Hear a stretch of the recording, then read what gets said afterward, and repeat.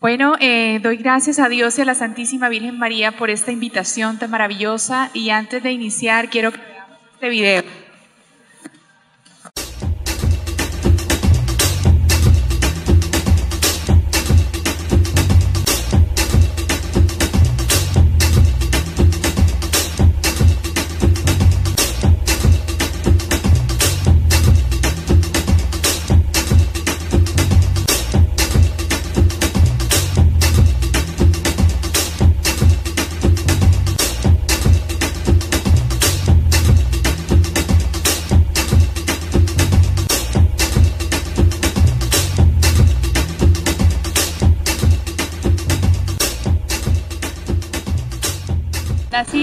Sucre, un pueblo muy pequeño al norte de Colombia.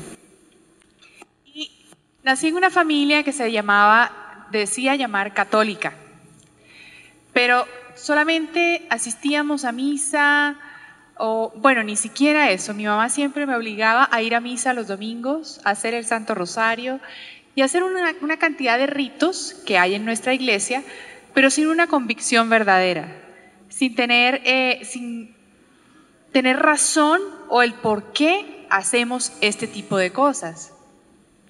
Sin embargo, mi mamá siempre me insistía en hacer el rosario, en visitar el Santísimo los jueves y asistir a la misa todos los domingos. Yo simplemente obedecía, pero igual me salía de la misa a la mitad de la misa, a conversar con mis amigos, eh, a charlar, a armar desorden. Y así crecí en, en esta familia eh, obviamente con valores, principios, mis papás siempre pendientes de qué paso daba, eh, quiénes son mis amigos, si hacía las tareas, si no, bueno, estaban en función de sus hijos todo el tiempo. Con el paso del tiempo empiezan a ocurrir una cantidad de eventos eh, que yo no entendía por qué me sucedían y em, cuestionaba mucho a Dios. A la edad de 12 años fui abusada sexualmente y eso trae consecuencias muy duras, heridas muy fuertes en el corazón de la persona eh, que ha sido abusada. Entre ellas no me voy a enfocar mucho en cada tema porque no tengo mucho tiempo y bueno, mi testimonio dura como dos horas y media, casi tres. Entonces acá tenemos 40 minutos. El hecho es que una de las consecuencias de este episodio eh, fue déficit de atención, eh, negligencia con las obligaciones, conductas autodestructivas, baja autoestima, problemas de adaptación social, dificultad al expresar sentimientos. Y me enfoco en una de estas, eh, bajo rendimiento académico, porque cuando yo era muy chiquita, a mí me encantaba estudiar y yo era de las que llegaba del colegio a mi casa y no almorzaba hasta que terminaba las tareas y hacía todos los deberes del colegio. Todas mis notas eran, cuando en mi época se calificaba de, de 1 a 10, no sé cómo se califica aquí en México, 10 siendo la máxima, pues todas mis notas eran 10, 10, 10, 10, incluso en matemática 10, 10, 10, 10. Eh, y me encantaba, ocupaba el tercer puesto en el salón de 61 estudiantes y después de este suceso, el Señor me muestra, cuando ya lo conozco, me muestra que a raíz de esto, eh, vengo a ocupar el tercer puesto, pero de atrás para adelante. Empiezo a perder materias, empiezo a faltar, eh, pues me, desconcentraba muy fácilmente, me era mucho más difícil el estudio, las tareas, todo. Pero yo sigo mi vida como si nada hubiera pasado, que simplemente fue un episodio muy fuerte, me lo callo, a nadie se lo cuento, solo hasta hace unos tres años fue que se lo conté a mis padres y ellos quedaron muy impactados, lo supo hasta mi hermano y empecé a contarlo en mi testimonio hace, hace muy poco, porque el Señor siempre pide cosas. Eh, al que más se le da, más se le exige. Entonces, el Señor cuéntalo, porque hay muchas personas que, están heridas por este, por este episodio y no han podido sanar muchas cosas. Y, y, eso obviamente tiene consecuencias muy graves en el corazón de cada uno de nosotros, incluso ya mayores, profesionales exitosos, pero con una vida emocional muy triste y muy vacía. Em, sigo mi vida como si nada hubiera pasado o creyendo que, yo tenía la culpa, desconfiando de los adultos. Termino estudiando administración de empresas turísticas en una ciudad al norte de Colombia que se llama Cartagena, no sé si la conozcan, es turística, es muy famosa. Y allá eh, pasan otros dos episodios muy importantes en mi historia de amor con Dios. Eh, uno, em, conozco a un joven, chico, no sé cómo le digan acá, y yo pienso que es, me enamoré y pienso que va a ser el, mi esposo, el amor de mi vida, y bueno, en fin. ¿Han escuchado esa historia? Entonces, eh, tenía 18 años, empezamos una relación, pues yo pensé que era una relación, y al quinto mes él empieza a decirme, bueno, ¿y entonces qué? Y yo, pues, ¿qué de qué? Dice, ajá, ¿y ajá qué? Bueno, yo, no entendía, me decía, bueno, me lo dice en un, lenguaje bastante brusco, no lo voy a mencionar igualmente igual, eh, me dice, ¿cuándo vamos a acostarnos? ¿Cuándo vamos a tener relaciones sexuales? Y yo le dije, mira, qué pena, pero yo voy a llegar virgen al matrimonio. Pues me miró como el bicho más raro que existe en este mundo. Les estoy hablando de cuando yo tenía 18 años, tengo 41 años hoy en día, y él me decía, mira, las niñitas de 13 ya lo hacen, ¿qué te pasa? Tú estás mal. Y pues obviamente esa vocecita de mi mamá ahí detrás hablándome, recuerda que hay que guardar la virginidad para llegar al matrimonio. Y pues como todo el mundo lo hacía y como todo parece normal, sin Dios y sin ley en esa época, sola en otra ciudad, obviamente yo me hablaba con mis papás cada ocho días eh, y ellos siempre estaban pendientes de mí, pero es muy diferente cuando uno viaja y pues obviamente uno puede cuidar mucho a los hijos. Pero ¿quién mejor que la Virgen María y nuestro Señor para cuidarlos cuando nosotros no estamos ahí con ellos? Y ah, de tanto decirme y pues no sé, y sin Dios, eh, sin mis papás, débil, sin fortaleza, sin mandamientos, sin confesión, sin fortaleza en mi corazón. Eh, cedo, me acuesto con ese novio y yo sentí en ese momento, no me pregunten cómo, que yo había perdido algo que era imposible de volver a rescatar, de volver a obtener, que no lo volvía a tener, no lo podía volver a tener. Y él se llevó algo que no le pertenecía. Y bueno, como el mundo te dice, vive la vida loca, haz lo que tú quieras con tu cuerpo, con tu vida, busca tu felicidad por tu lado, no existe Dios. Yo seguía mi vida como si nada y haciendo lo que me daba la gana, lo que supuestamente eh, creía que estaba bien.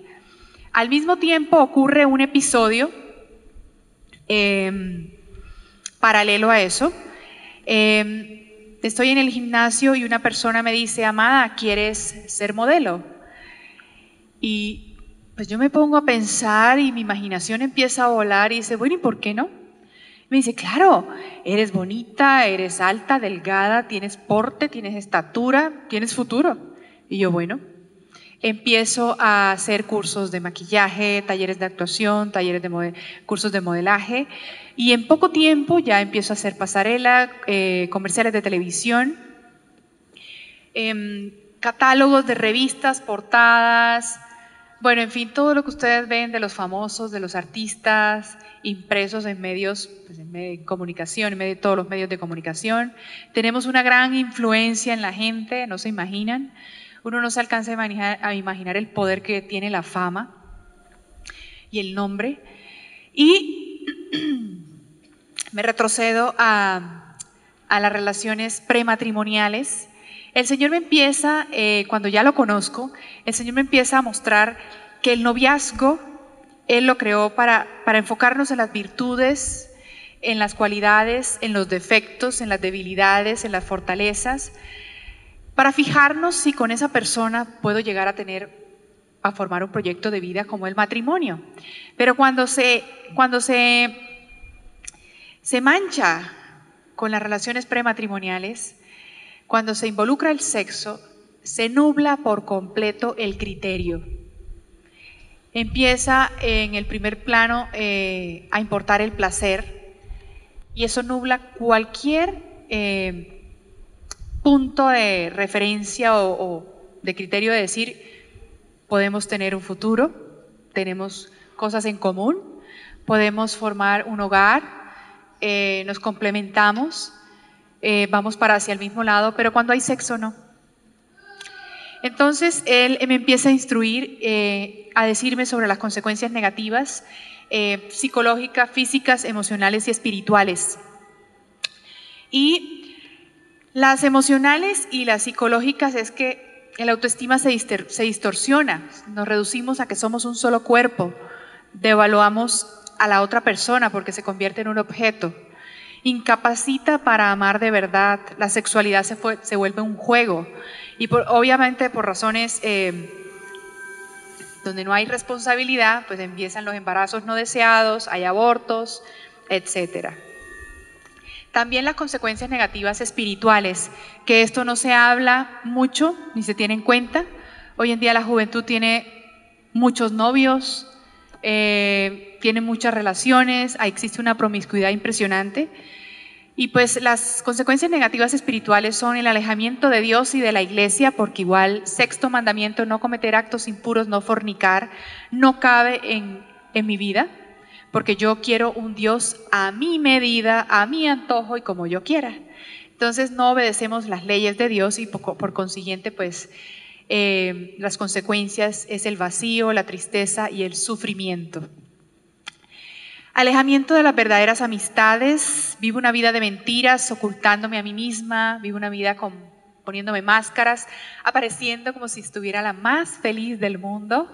Eh, ocultamiento, se endurece el corazón. Yo recuerdo que en ese momento eh, esta persona, que no la juzgo, porque igual él también recibe la misericordia que yo recibí, sino que es una persona que está equivocada y que también merece el perdón de Dios y que lo ama muchísimo. Eh, el corazón mío se volvió calculador y empiezan esas frases que ustedes me imagino que han escuchado. A mí no me la vuelven a hacer este me las paga. Yo no me vuelvo a enamorar. Nosotros manchamos el corazón y por eso ya no existe el amor puro. Y dicen que el primer amor es el puro, pero es que ese es el que debe ser, el que Dios ha creado. Siempre debe ser puro. Eh, adormecimiento de la conciencia. Pues yo no puedo escuchar bien a Dios porque estoy en pecado y el pecado me aísla por completo eh, en la comunicación con Dios. Un estudio con información recolectada de más de 10.000 mujeres, aquí también válido para los hombres, reveló que mientras más temprano se vuelva sexualmente activa una mujer o hombre, más probabilidad tiene de padecer embarazos fuera del matrimonio, maternidad soltera, enfermedades de transmisión sexual, múltiples parejas sexuales, ruptura de relaciones, aborto, divorcio, depresión, pobreza. ¿Quién quiere eso? Nadie. Pero nosotros no obedecemos la ley de Dios. ¿Pero saben por qué? Porque no estamos en gracia de Dios, no acudimos a los sacramentos. Los sacramentos nos dan fortaleza para y no acudimos obviamente a la oración. Para mí la oración es como es no es rutinaria, para mí es como puede puede verse de esa manera, pero para mí es como lavarme los dientes. Son las tres comidas, desayuno, almuerzo y cena. Esa debe ser la oración así como me relaciono con las amistades que tanto tiempo le dedicamos a los amigos y hablamos por teléfono y nos contamos todo, así debe ser la relación con Dios. No de un ratico, ay, no es que esa misa es muy larga. Ay, no, el rosario, ay, no, qué pereza. Es muy largo. A mí me da pereza. Bueno, deberíamos pedir esa gracia a la Santísima Virgen María para que podamos este, establecer esa comunicación permanente con el Señor, para que el Señor nos revele y nos muestre qué es lo que quiere de nosotros y para que el Señor vaya llenando, sanando nuestras heridas y llenando todos esos vacíos que hay en nuestro corazón. Y yo sigo mi vida como si nada y haciendo revistas, catálogos, televisión, viajando en pasarelas, comprando ropa, joyas, diferentes novios, con dinero, poder, fama, fiesta. Y cada vez que yo escalaba, cada vez que yo veía que más famosa me volvía, que la gente llegaba a un sitio y había pues los fans, eh, yo salía de una habitación y eran lo que... ¡Ah! Yo decía, ¿qué es esto? Y yo volvía y salía corriendo y me encerraba en un cuarto. Y si me acercaban las mamás, me decían, amada, es que mi hija quiere ser como tú. Y yo, tú no sabes el infierno que yo vivo. Y así vamos idolatrando a los artistas y no conocemos la realidad, la verdad de sus vidas. Los medios de comunicación dicen muchas mentiras. Yo estudié comunicación social, bueno, homologué comunicación social hace dos años, creo que hace año y medio, hace dos años, no recuerdo. Y lo primero que me dijeron a mí fue, tú estás aquí para manipular. Podemos manipular la información y hacer creer lo que nosotros queramos.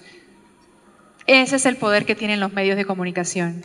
Y mientras que los medios de comunicación decían, la exitosa Amada Rosa Pérez cosecha éxitos en no sé dónde. La realidad, Amada Rosa Pérez, vuelta a chicuca llorando en el cuarto. Esa es la realidad, queridos amigos. Y nosotros creyendo que es lo máximo. Y creyendo todo lo que dicen las noticias, todo, todo. Y sigo mi vida como si nada, creyendo de que em, todo este mundo, esta receta que ofrece el mundo, éxito, dinero, fama, poder, creo que me va a dar la felicidad. En los momentos de silencio, recuerdo que estaba viviendo en Miami, em, empecé a cuestionarme porque me daba miedo confrontarme a mí misma, miedo a los momentos de silencio, porque hoy el ruido es impresionante toda la tecnología en nuestras casas, televisor, computadores, iPhone, iPad, todas las hay, música a todo volumen, pero silencio nada, nos atormenta el silencio. Y es ahí cuando Dios nos habla al corazón. Y yo me cuestionaba, o más bien era el Espíritu Santo, ¿de qué te sirve tener todo y sentir que no sientes nada? ¿De qué te sirve ganarte el mundo si pierdes tu alma? Esa es la realidad. Existen dos caminos, el de la vida y el de la muerte, el de la eternidad en el cielo y el infierno. No hay más. Esa es la realidad. ¿Cuál es el propósito de mi vida? Decía, ¿cuál es mi propósito? Yo aquí vine a este mundo. ¿Será que en este mundo yo me muero y ya? Y me cuestionaba pero sin embargo no tenía la fortaleza para decir, no más voy a hacer un pare en mi vida y voy a decidir cambiar mi vida. No podía, no estaba en gracia de Dios, no me comunicaba con Dios. ¿Qué ejemplo estoy dando? Esa otra pregunta me cuestionaba el Espíritu Santo, que yo en ese momento no tenía ni idea que era el Espíritu Santo. ¿Qué ejemplo estoy dando como mujer? ¿Por qué me he visto de esta manera? Si yo quiero una yo quiero un príncipe, pero me vestía como princesa. Yo quiero un caballero, pero me vestía como dama. Yo quiero un San José, ni por ahí, la Virgen María. ¿Cómo pretendo que me hablen al corazón si siempre estoy mostrando mi cuerpo? Eso siempre se lo digo a las niñas. La mujer tiene un poder. Con la manera en que nos vestimos, bailamos y la manera como nos portamos, podemos invitar a un hombre a ser un caballero o un animal. ¿Sí o no, hombres? Entonces nosotras como mujeres debemos ayudar a los hombres, darles un empujoncito. Ser castas, modestas, para que ellos se fijen en nuestro corazón, en nuestra belleza interior, que es lo que importa y lo que vale. Posa bien y vende el producto tu corazón, tu vida no nos interesa. Mantente delgada, en línea, bonita, si te engordas no sirves. Además aprovecha el cuarto de hora porque los años se pasan volando, salen arrugas y así ya no te compran. Eso es el modelaje. ¿Tienes frío, calor? No me importa. Posa, vende producto. ¿Estás enferma? No me importa. Posa. No importan virtudes, no importan defectos, no importan sentimientos, no importan valores. No me importa. A mí lo que me importa es la imagen, la fachada, la foto que puedan ver una mujer espectacular al lado de una nevera o un carro. Háganme el favor. Porque hasta eso hemos llegado. Yo cosificaba a la mujer, reducía a la mujer a una cosa.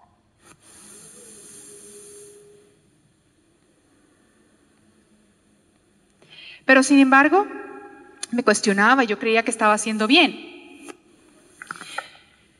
Y buscando salidas, empecé buscando esa paz que todo ser humano anhela, porque nunca vamos a estar tranquilos hasta que encontremos a Dios, a nuestro Creador. No sé cómo es esa frase de San Agustín. Estaremos inquietos hasta que no encontremos el verdadero amor. No, no recuerdo. Estoy diciendo algo mal, pero es algo así nuestro Padre, nuestro Señor, que es el, primero que nos amó, el que nos da la felicidad, la plenitud completa, o sea, la felicidad completa, la plenitud, la paz, la tranquilidad, la serenidad. A Dios, ¿qué dirán? A Dios el qué dirán, a Dios a lo que diga el mundo. Soy de Dios, es lo importante, soy una hija predilecta de Dios, me ama como soy, gorda, fea, chiquita, baja, todos somos hermosos para Dios, todos. Y empiezo a buscar, a refugiarme en cosas que no son de Dios, creyendo que era Dios. No las voy a mencionar todas porque tengo una lista, ustedes no se imaginan aquí, de una cantidad de cosas que hice y que también la gente me comparte para compartir, para no caer en el error. Bioenergética, constelaciones, ángeles de la nueva era, parapsicología, lecturas de Osho, Paulo Coelho, Chopra, superación personal, yo todo lo puedo, yo todo lo atraigo, las energías, ay, qué energía, no existe la energía, energía, la energía eléctrica, la estática. ¿Tenemos amor o no tenemos amor? Programación neurolingüística, numerología, círculos de fuego, sectas satánicas, reencarnación, piercings, tatuajes, esencias para el estrés. Yo me echaba esencias, lluvia de oro para traer la fama, el éxito. Eh, no sé qué otra esencia para traer el amor. Y todo eso va en contra del primer mandamiento. Esto que les estoy leyendo es solamente el primer mandamiento, va en contra de eso. Bolas de cristal, los cuarzos, pirámides de cristal, lecturas de poder mental, la cábala, masonería, magia blanca, roja, verde, azul. Yo no sabía que existían tantos colores de magia. Esoterismo, ocultismo, era súper esotérica, astrología, espiritismo, santería, pactos, consagraciones, talismanes, inciensos, velas de colores, todo esto, todo esto lo pueden conseguir también incluso en tiendas religiosas.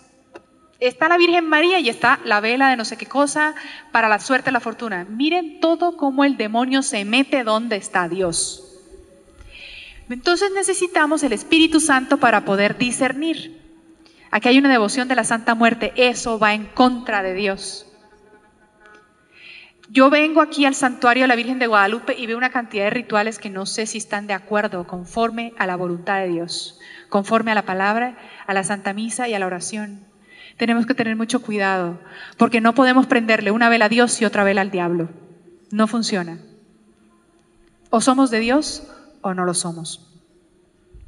Talismanes, inciensos, bueno, baños, riegos para traer la suerte, la felicidad, yo era de las que transformaba la Navidad, perdón, la, sí, la Navidad en el fin de año y era llena de agüeros, llena de agüeros y rituales, baños, riegos, hacía bañar a toda mi familia, a mis hermanos, a mis papás, con el baño de la manzana, atragantándome con las 12 uvas, con los 12 deseos, con el dólar en el pie izquierdo, joyas en la, en la copa de champaña, no, una cantidad de bobadas.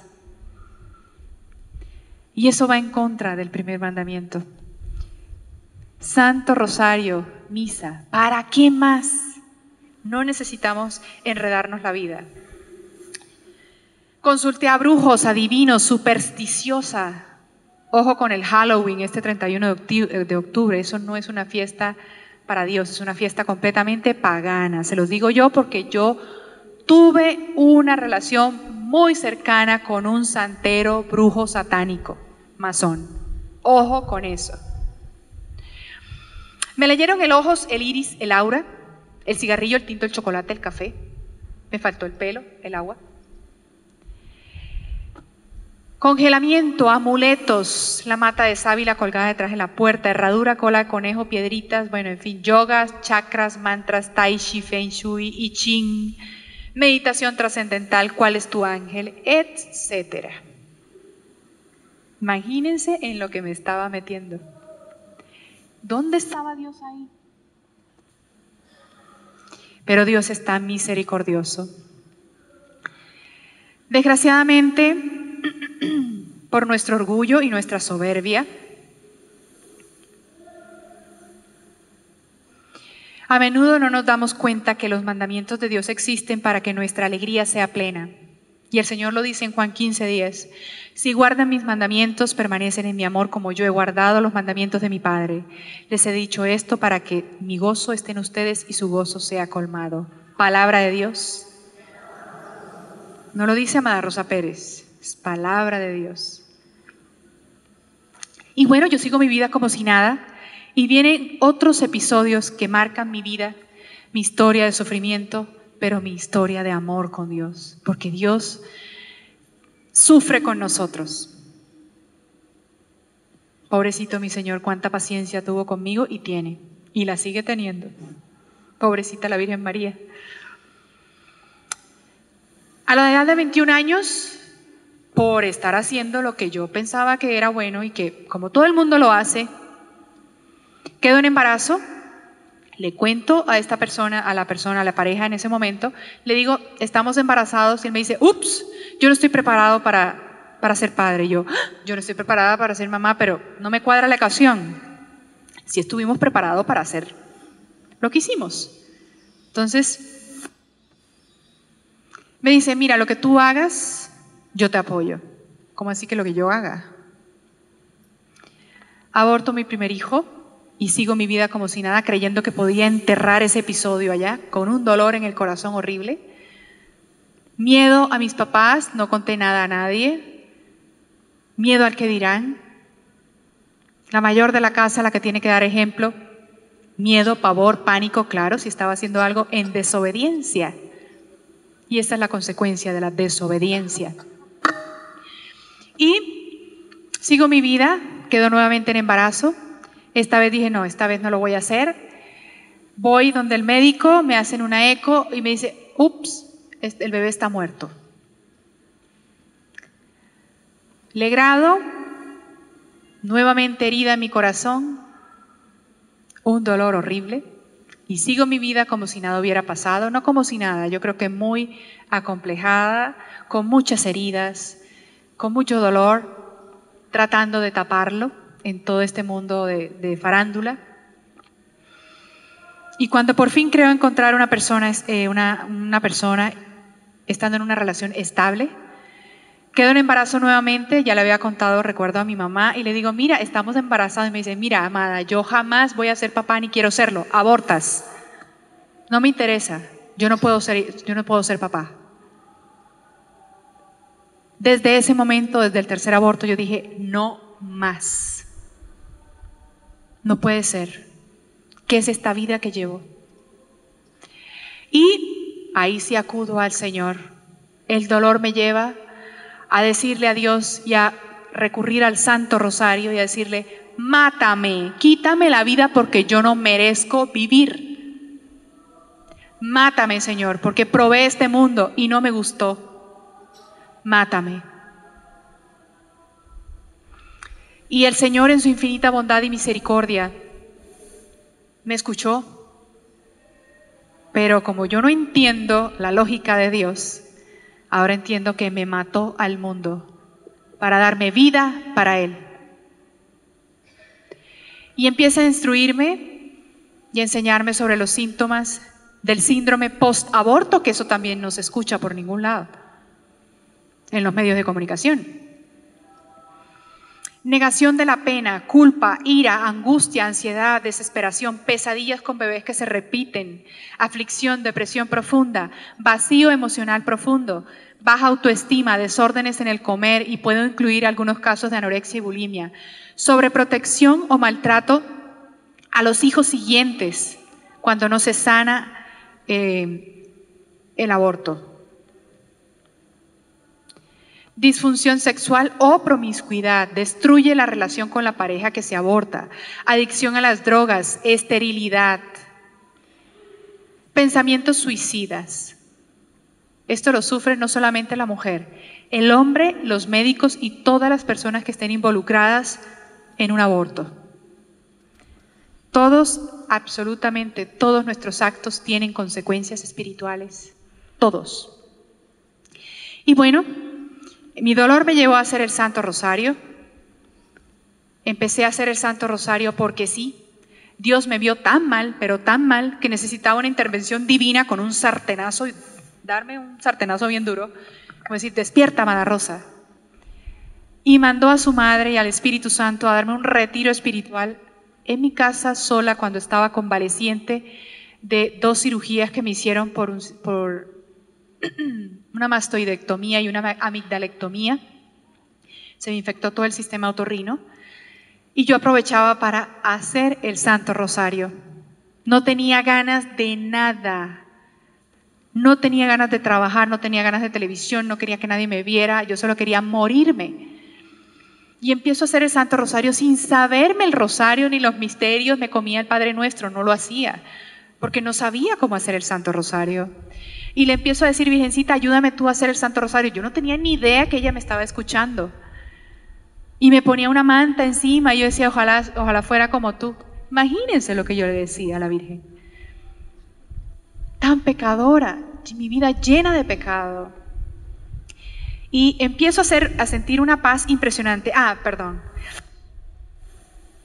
Lo primero que entendí y comprendí, y la primera gracia que se recibe cuando uno va a empezar a hacer el Santo Rosario, es que es la mejor medicina para el insomnio.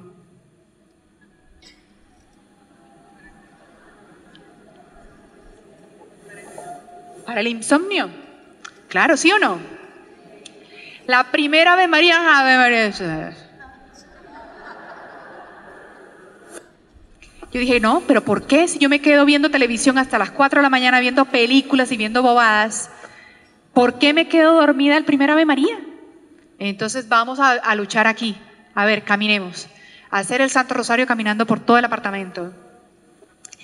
Y, yo creo que Dios veía esa lucha. Pero era el Espíritu Santo y la Virgen ahí impulsándome. Vamos, vamos, tú puedes, vamos, tú puedes. Y empiezo a hacer el Santo Rosario y, y el día que no lo hacía, ustedes no se imaginan la falta que me hacía. Lo necesitaba, o sea, que no sentía como que no había comido no me había bañado, algo, algo está haciendo falta hoy. Y empiezo a hacer el Santo Rosario y con el paso de los meses empiezo a sentir una paz que yo no entendía, una paz que sobrepasa todo entendimiento, una paz que esa paz el mundo jamás me la dio, ni me la va a dar, ni se las va a dar a ustedes, porque solo Dios puede dar esa paz. Y obviamente cuando el enemigo se da cuenta de que la cosa va en serio, una de las cosas que la Santísima Virgen María me empieza a instruir y a enseñar, porque es la mejor discípula del Señor, la existencia del cielo, el purgatorio, el infierno, la existencia del demonio, Satán, Satanás, Lucifer, diablo, llámenlo como quieran, la serpiente, la antigua serpiente, existe y la mayor estrategia y ganancia de él en un alma es hacerle creer que no existe. Segundo, que es un bobo. Y tercero, que está dormido, que sí existe pero no hace nada. No subestimemos el poder del mal y estemos en la gracia de Dios. Y una de esas noches, de tantas experiencias y ataques que tuve, y que todavía tengo, pero es muy diferente. Me quedo dormida del agotamiento físico, emocional y espiritual, porque ya el Señor me había hablado en su palabra, porque empieza una sed y un hambre de Dios. Empiezo a leer la palabra de Dios, a hacer el Santo Rosario todos los días, la misericordia, a ver la misa por televisión. Obviamente hay que ir a misa, pero cuando eso yo no tenía pleno conocimiento de toda esta gracia y de la bendición tan grande que es la Eucaristía. Eh, la última cita bíblica, que me dio fue muy fuerte. Yo dije, uy, yo tengo eso. Hay demonios que solo salen con ayuno y oración. Y yo dije, uy, yo tengo que ayunar. Esto está grave, fuerte para mí. Empiezo a ayunar y del ayuno pues estaba muy flaca y me quedé dormida. Sin embargo, yo dormía pues con la Biblia y con un cuchillo por si acaso porque las presencias, yo sentía que alguien me acechaba, me perseguía todo el tiempo a donde fuera fuera noche, día, lo que sea, pero la noche para mí era terror. Dormía con la luz ya encendida, ya no podía dormir con la luz apagada, con EWTN todo el tiempo. Y esa noche me quedo dormida y viene una fuerza que me aprisiona, no me deja mover, no me deja gritar, no me deja hablar, no me deja despertarme. Pero al mismo tiempo irrumpe una voz y me dice, ora, ora, ora mi pequeña, que nunca es suficiente. Y cuando yo siento esa voz, me pude despertar y le dije, Madre, ¿dónde estabas? Y yo siento que me habla el corazón y me dice, yo nunca te he dejado. Fuiste tú quien soltaste mi mano. Y yo llorando y llorando y llorando y llorando, dándome cuenta de que Dios me estaba volviendo a llamar y sentía mi corazón como palpitaba a mí, lavada como si me hubieran echado tres baldes con agua mi corazón hirviendo hervía, era como un fuego que me quemaba el corazón, sentía que me quemaba el corazón. El bautizo del Espíritu Santo. Y empiezo a renunciar y a rechazar todo lo que no le agrada a Dios. Miren el poder del Santo Rosario. Empiezo a renunciar al modelaje, a renunciar a todas estas prácticas que les leí anteriormente. Empiezo a renunciar a papeles en televisión que ofendían y degradaban, que iban en contra de los valores cristianos, que iban en contra y atentaban contra la familia, contra la dignidad del ser humano, contra la dignidad de la mujer. Empieza una sed y hambre de Dios a defender la vida, la familia. Empieza una sed y hambre de obedecer a Dios. La Santísima Virgen María me lleva a la iglesia a confesarme. Cuando llego, Recuerdo que estaba el sacerdote, el padre Isaac, con su sotanita remendada en un sillón roto. Mis hermanitas la estaba esperando. Yo con lágrimas en los ojos, lloré y lloré, yo no podía confesarme.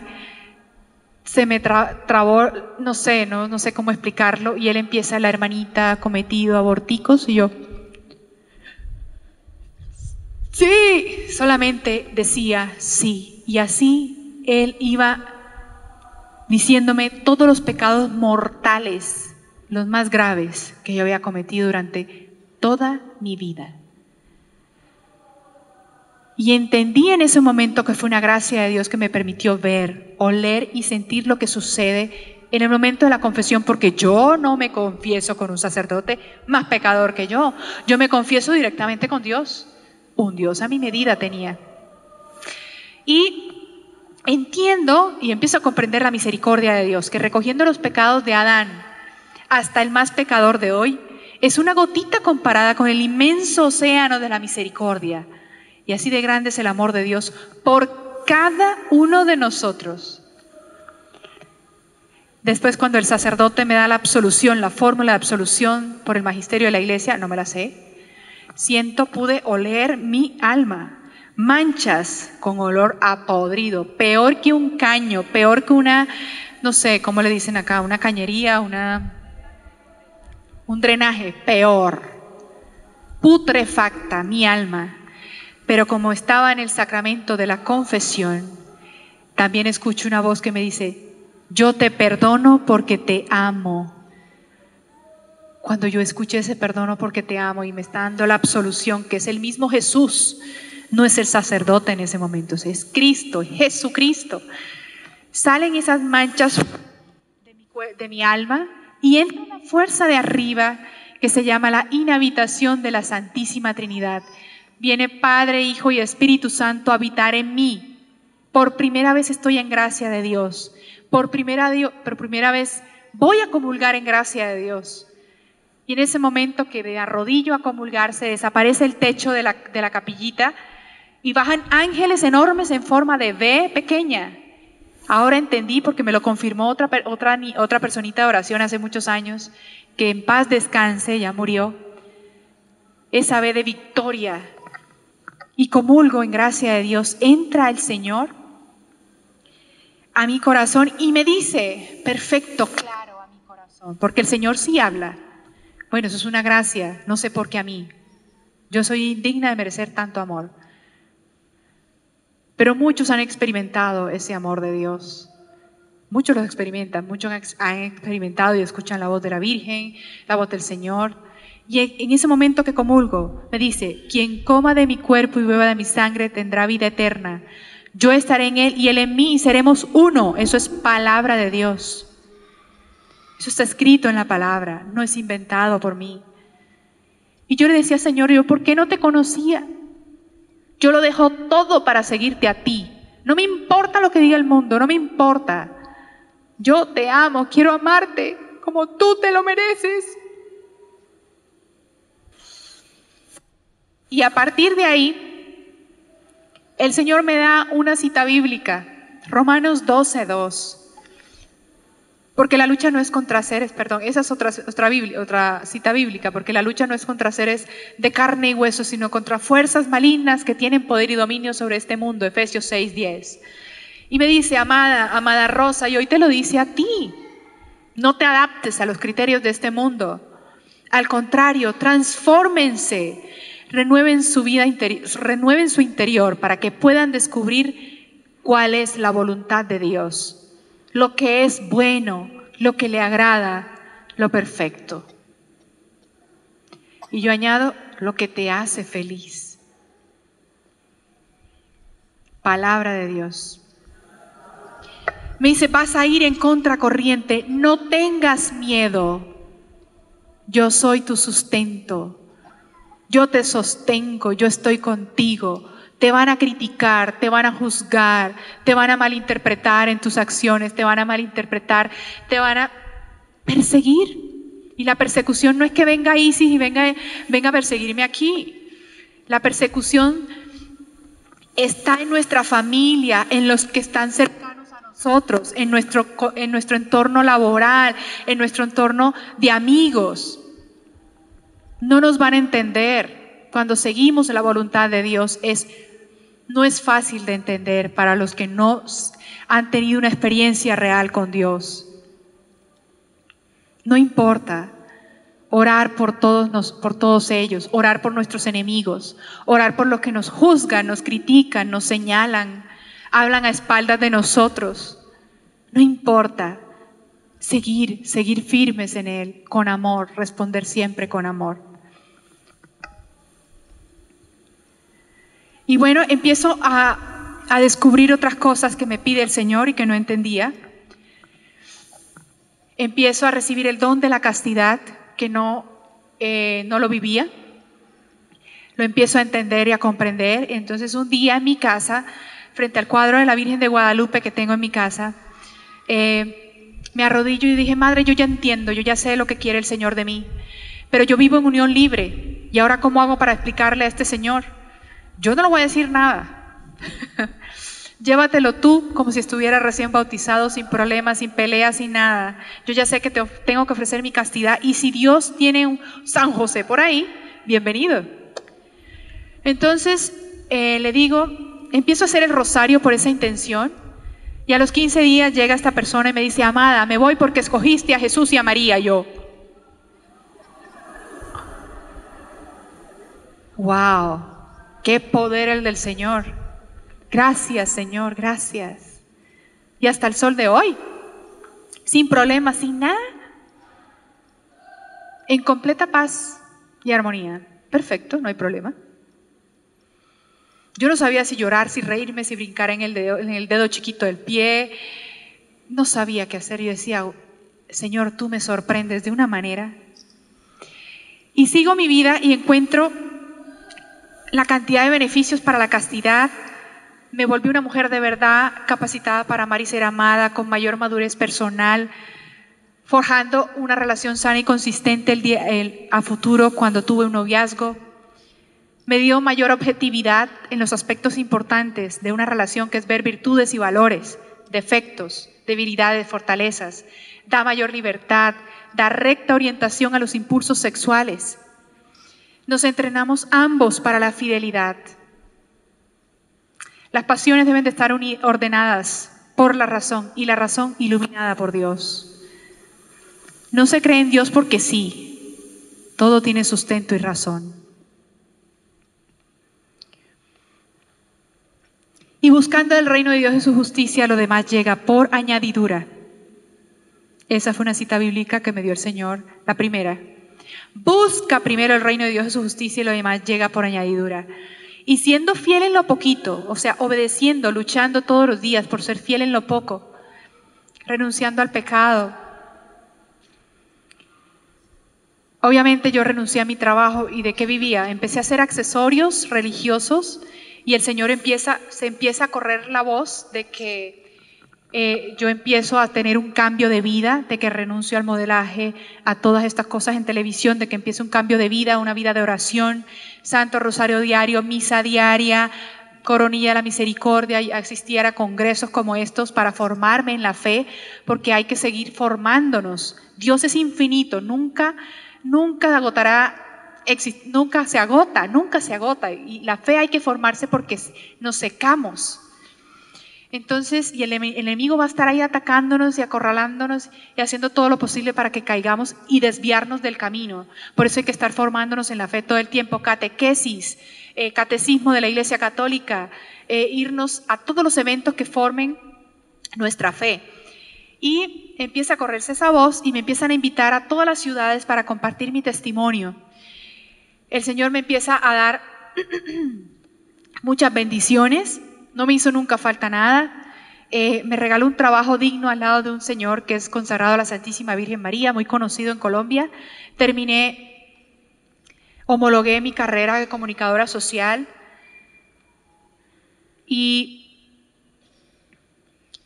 yo soy de las que busco en internet eh, testimonios Obviamente hay que discernir mucho porque en internet tú cuentas, encuentra uno un sancocho y una mezcla de una cantidad de cosas con la religión católica y eso hay que tener mucho cuidado. Entonces hay que pedir, por eso hay que formarse en la fe y pedir al Espíritu Santo mucho discernimiento para no enredarnos, no contaminarnos. Y vi a un señor que se llama Juan Manuel Cotelo y yo dije, ay, qué bonito este señor, me encanta cómo, cómo transmite la fe, cómo evangeliza la forma, me parece muy divertida. Virgencita, bendícelo. Y empecé a rezar por él. Y a la semana tenía un correo de Juan Manuel Cotelo en mi correo. Amada, estamos haciendo una película sobre la Virgen María. Quisiera hablar contigo, tener una reunión contigo por Skype. Y yo, yo, yo, simplemente rezo por la gente y tú simplemente, ¡pum!, de una vez me pone ahí las personas. Y así me ha pasado con muchísimas personas. Incluso con mi trabajo también fue así. Miren, la única oración que Dios no escucha es la que no se hace. Y bueno, tuve esa cita por Skype y apareció Maryland, Tierra de María, una película, que grabamos hace, no sé, cinco años, seis años, no me acuerdo. Y nos me, tiene viajando por todo el mundo. Y recuerdan que le, le pedí a la Virgen de rodillas, si tú tienes un San José por ahí, empecé a, hacer eh, a pedirle por mi San José sin desesperarme, a veces me desesperaba con muchas jóvenes o muchas mujeres eh, solteras católicas, me dicen, amada, es que yo estoy desesperada, don San José, mira, y hay una amiga católica también en Perú me dice, amada, es que no entiendo, eh, creen que las está dejando el tren, pero quieren que el tren le pase por encima. Hay que tener paciencia, porque el tiempo de Dios es perfecto y el Señor siempre está buscando la manera de prepararnos para ese momento. Y eh, yo le dije, mira, eh, madre, yo quiero ser tratada como tú, como una princesa. Como esta carne ha pecado mucho, se equivoca mucho, yo me fijo en lo que no es, definitivamente. Tráemelo a mi casa. Es más fácil. Y para ti Dios no hay nada imposible. Lo dice tu palabra y me apropio esa palabra. Porque para Dios no hay nada imposible. Bueno, mi actual esposo es mi vecino del 204. No nos conocimos en el ascensor, ni nos conocimos en la calle, nos conocimos en un grupo de oración que teníamos en mi edificio, grupo de jóvenes, que todos, para la gloria de Dios, hoy todos estamos, la mayoría casados. El grupo se llamaba Custodio de los Sagrados Corazones de Jesús y María, eh, en honor a San José. Y, eh, mi amor, ven. Alejandro, les presento a mi esposo.